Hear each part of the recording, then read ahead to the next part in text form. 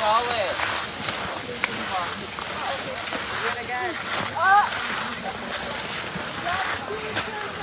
now for the interview. And now for the interview.